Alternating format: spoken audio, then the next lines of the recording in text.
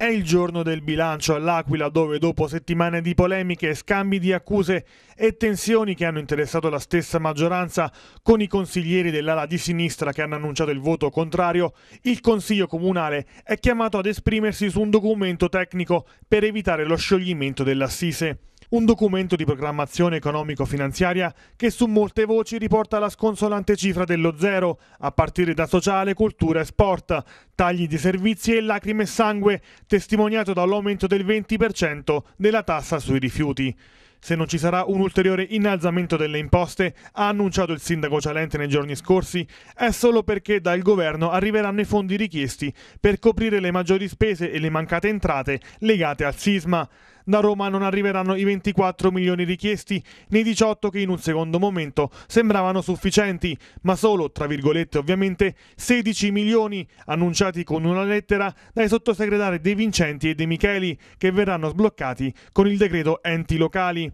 Il via libera dovrebbe, salvo imprevisti, arrivare a metà giugno e a quel punto la giunta comunale si riunirà d'urgenza per votare un maxi emendamento che sarà dunque il vero e proprio bilancio di previsione dell'ente Presidente, che verrà poi discusso in prima commissione e in Consiglio Comunale per l'approvazione definitiva. La seduta di oggi pomeriggio, con l'eventuale seconda convocazione per mercoledì prossimo, rappresenta sicuramente una particolarità, se non proprio si vuol parlare di un'anomalia, con le opposizioni sul piede di guerra e veleni che hanno lacerato la stessa coalizione di governo.